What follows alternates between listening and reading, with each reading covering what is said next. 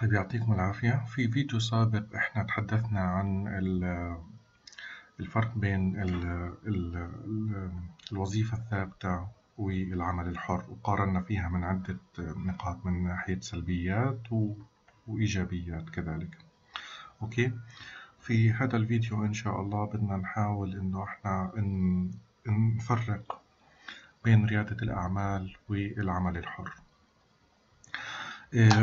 طبعا ريادة الأعمال هي إنه يكون في عندي فكرة ريادية وإنه أحاول إنه أشتغل فيها أو أشتغل عليها وأكون شركتي المستقلة بحيث إنه هي الشركة هذه في النهاية تتطور وتقدم آه، خدمات أو منتجات للزبائن بشكل مباشر. يعني بركز على هذه الخدمة أو هذا المنتج بشكل أساسي فقط لا غير ما بركز على منتجات أخرى أو أو زبائن أخرى أو زبائن آخرين. يبدأ في النقطة الأولى بيستثمر الريادي بشكل أساسي بفكرته تمام؟ وبيعتمد عليها في تأسيس عمله أو شركته الخاصة. وبتكون يفترض أنه تكون من واقع دراسة آه، واقع احتياجات السوق المستهدف. طبعا هو بيحدد إنه والله السوق آه، في هذا المنتج آه، ناقص أو والله إنه في خدمة معينة مش موجودة ما حدا بيقدمها فبالتالي إنه أنا بدي إنه أنا أقدمها.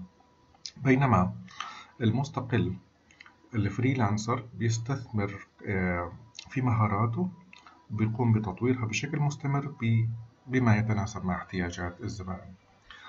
تمام؟ يبقى هنا التركيز إنه ال freelancer بيستثمر في مهاراته بشكل مستمر عشان يتناسب مع احتياجات الزبائن اللي قد تكون إنه هي متغيرة مع الوقت.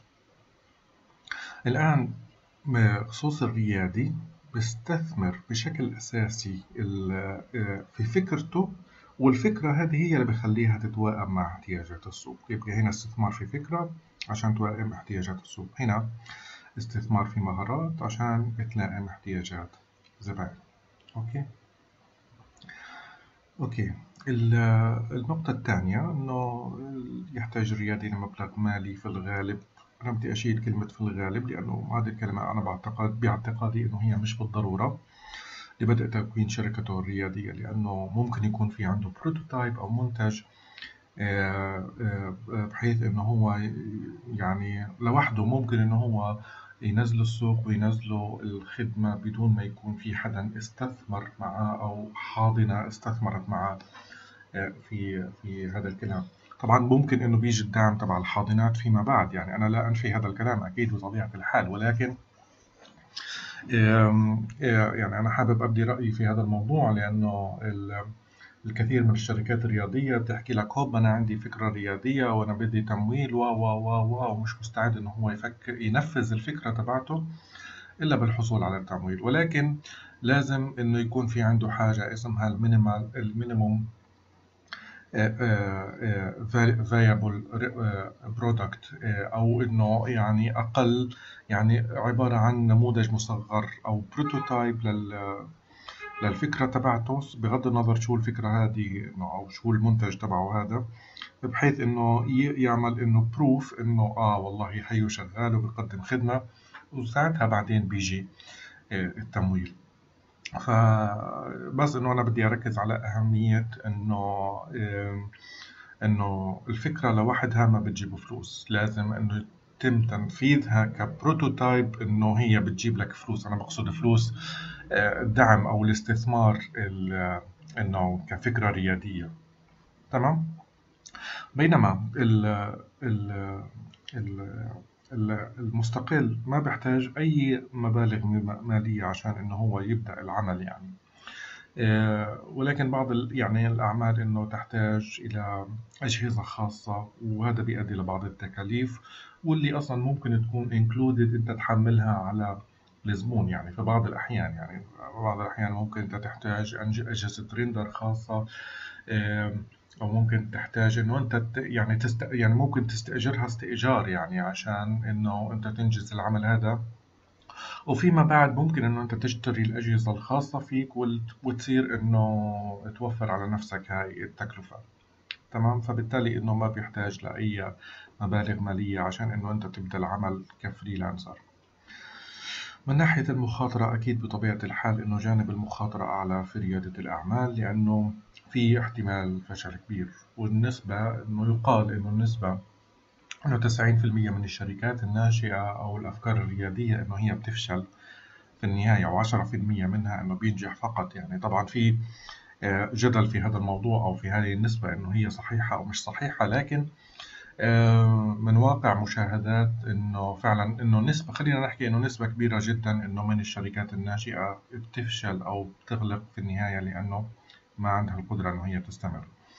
بينما في العمل الحر ما فيش أي جانب من آه، المخاطرة مع إنه في وجود آه، لصعوبة في البداية إنه أنت تقدر إنه أنت تشبك مع زبائن وتبدأ تبدأ تحصل على الوظائف الأولى.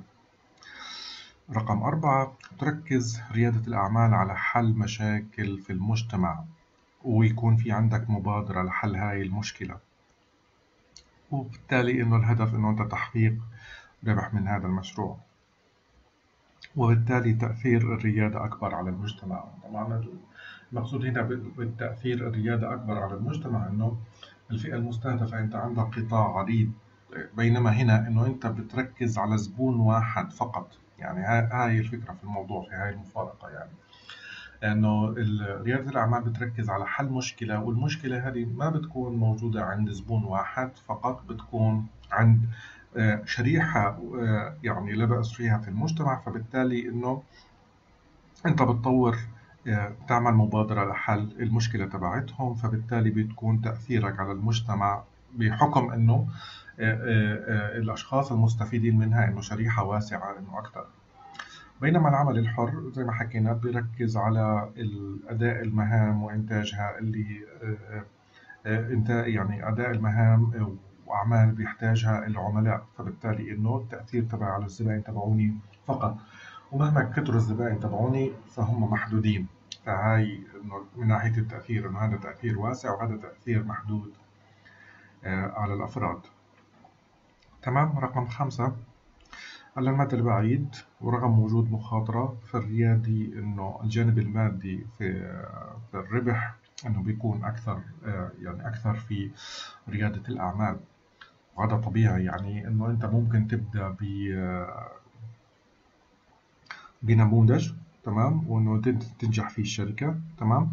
بعد فترة معينة من نجاح الفكرة الريادية ودخولها في مراحل استثمارية متقدمة وتحولها لشركة مساهمة ممكن يقفز. أنت عندك سعر السهم ل يعني لسكيل مختلف خالص عن السكيل اللي أنت بديت فيه. فبالتالي إنه آه، آه، آه، بيكون إنه الربح كبير جدا جدا جدا في هذه الحالة في حال إنه أنت يعني الحصة اللي أنت بتمتلكها بيكون سعر السهم في البداية لنفترض إنه في البداية إنه كان دولار واحد ممكن إنه آه، بعد ما تدخل مراحل استثمارية يعني لأنه في الحاضنات أنت في عندك عدة مراحل آه، آه، في الاستثمار وحط لكم فيديو عن ريادة الأعمال في هذا يعني بشرح هاي المراحل بهذا بهذا الخصوص حط لكم إياه في المادة الإثرائية عندي في الكورس. فبالتالي إنه أنت بعد المرحلة هذه بتنتقل لسكيل يعني مختلف خالص فبالتالي إنه زي قفزة نوعية في سعر السهم. أنت عندك بصير إنه عشرات الأضعاف يعني. بينما في العمل الحر بين يعني إنه رغم إنه قلة المخاطر إلا إنه يعني أنت بتوجب عليك إنه تطور بشكل دائم المهارات الموجودة عندك ومقدار الدخل يعني إنه بيكون اللي هو يعني مهما كبر بضله محدود مهما كبر بضله محدود وبيكون مرتبط بانه أنت بتقدم خدمة وبت يعني بتنجز أعمال فبالتالي إنه أنت بتحصل على عائد مادي. تمام؟ فبالتالي إنه أنت هنا طالما بتشتغل أكثر طالما بتحصل فلوس أكثر طبعا في بعض يعني أكيد يعني إنه ممكن تصل لمرحلة إنه يكون في عندك آه، ال ال إنه أنت تدخل في مرحلة إنه أنت عندك يعني آه، وصلت ل آه، إنه طريقة إنه بأقل المجهود إنه أنت تحصل على عوائد مادية أكثر تمام؟ رقم ستة تقدم ريادة الأعمال منتجا وهذا المنتج عبارة عن مراحل متعددة تبدأ من الفكرة حتى الوصول إلى السوق. تمام؟ والفكرة في النهاية يا إما بتكون عبارة عن منتج مادي أو خلينا نحكي إنه هو سوفت آه، شغلة ملموسة رقمية يعني. يا إما خدمة رقمية يا إما مثلا خلينا نحكي إنه عبارة عن آه، ترجمة أو كتاب أو أي شيء من هذا القبيل يعني. أو ممكن تكون إنه هي منتج آه، مادي. بينما العمل الحر آه، بيشتغل بشكل أساسي على خدمات مثل الترجمة والتصميم والبرمجة. فبالتالي إنه عادة إنه التسليم تبع العمل الحر إنه بيكون soft لكن هذا هنا إنه بيكون soft بالإضافة لإنه ممكن يكون شغلة physical آخر نقطة إنه من الصعب القيام يعني إنه صاحب الشركة الريادية إنه يقوم بالأعمال المطلوبة بشكل فردي لأنه الأعمال متشعبة ولازم وجود فريق عشان يساعده في تحقيق النجاح. طبعا أنا بأكد على موضوع الصعوبة ولكن هذا لا يعني إنه هو مستحيل. يمكن إنه الشركة الرائدة آه، إنه تكون مكونة من شخص واحد وتضلها لفترة طويلة إنه مكونة من شخص واحد وبعدين يشكل الفريق. آه، يعني ممكن هاي الشغلة إنه هو يتولى كل هاي الأمور. ممكن من البداية إنه يكون فريق صغير من آه، من شخصين أو ثلاث أشخاص ويساعدوه في إنجاز المهام المطلوبة في الشركة الريادية آه، طبعا في العمل الحر العمل الجماعي مش متطلب عندك أساسي. ممكن أنت تشتغل بشكل منفرد وتضلك بشكل منفرد يعني على طول الخط تمام؟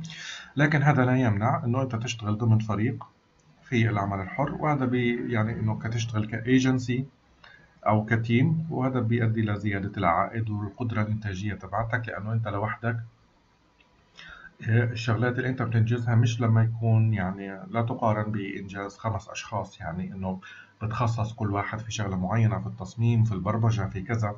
فبالتالي أنت بتأدي إنه يعني بتقدر تقول إنه أنت بتقدم حلول متكاملة.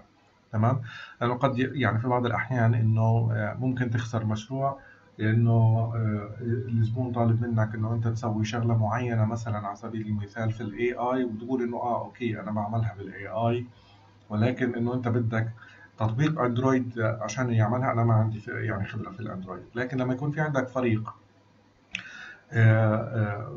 واحد بيشتغل ويب وواحد بيشتغل Android أو يعني تطبيقات موبايل والثاني بيشتغل في التصميم واحد ثالث بيشتغل في في ال back end إنه سواء بغض النظر إنه ال back end هذا شو بيقدم بيقدم يعني خدمة يعني حلول متعلقة بال AI أو لا. فهذا فريق متكامل وبيؤدي إنه أنت تاخذ المشروع كله بالكامل فبالتالي أنت بتقدم حلول متكاملة وهذا بيؤدي في النهاية لتقديم دخل أفضل بطبيعة الحال. فهذه باختصار آه، الفروقات الأساسية بين ريادة الأعمال والعمل الحر. تمام؟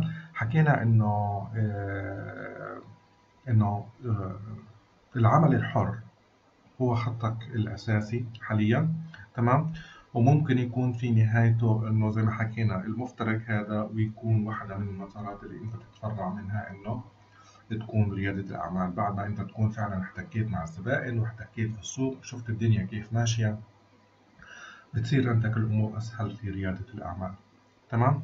هذا لا يمنع أنه يكون في عندك في خط موازي للعمل الحر لريادة الأعمال.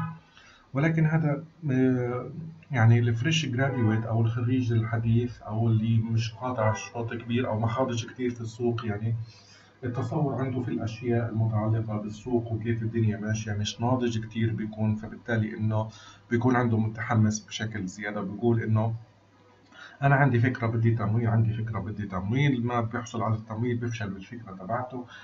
فبالتالي إنه أنا نصيحتي إنه الخوض في العمل الحر اولا ومن ثم الانتقال. إذا كان في عندك رغبة وكان في عندك فعلا المؤهل إنه لفكرة ريادية إنه أنت تنتقل فيما بعد لريادة الأعمال هذا شيء كثير كويس. ف يعني إذا كان في عندك فكرة رياديه مش غلط إنه أنت تدخل في مضمار العمل الحر اولا وبعدين تنتقل لرياده الأعمال فيما بعد.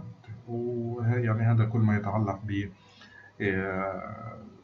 العمل الحر وريادة الأعمال من ناحية فروقات ومن ناحية إنه شو الخط اللي أنت أو شو شو شو نهاية الخط اللي أنت بتمشي فيه في النهاية.